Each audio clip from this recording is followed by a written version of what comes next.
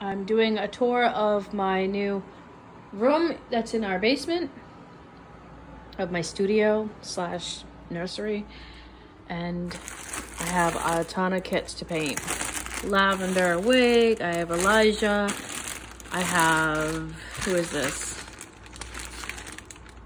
Steven, a bunch of them. I have a Delilah in here, I have a Cody Bear.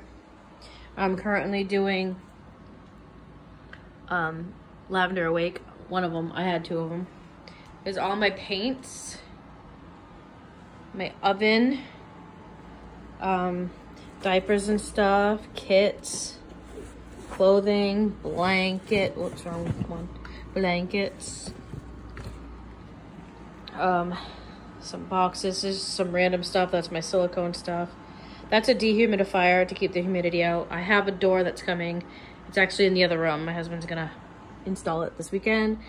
Um, my magnets, my needles, my mohair. I have more hair here, um, a bunch of eyeballs, my fluff, um, Bountiful Baby fluff. My glass media is in the other room. Um, this is full of pacifiers. And then I have, of course, some decoration.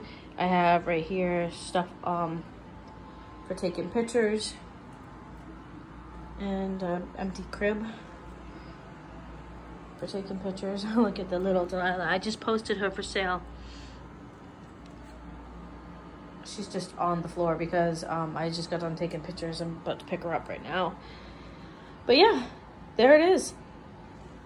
Bye, guys.